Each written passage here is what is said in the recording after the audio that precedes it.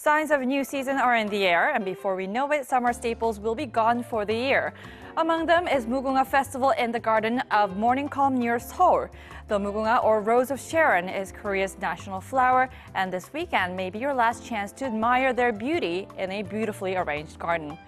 Hello, Michelle Park here with the latest weather update. Now, it's been rainy down in the southern provinces and Jeju Island. The capital Seoul so far has seen some drizzles, but chances of rain tonight are still prevalent for most of the country. And by tomorrow afternoon, the central region will gradually see the rain weaken, but precipitation will continue until the evening in the southern regions.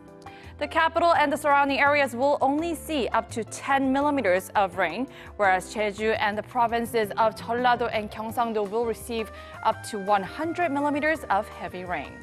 And Seoul's morning will begin a few notches cooler at 23 degrees Celsius, while it's looking slightly higher for the southern provinces. And the rain will drop a couple of degrees in the afternoon, with Seoul topping out to 30 degrees, and Daegu at 29 and Busan to 28 degrees Celsius. The weekend will be a rain-free one with capital's daytime high staying under the 30 degree mark. I'll leave you with weather conditions around the world.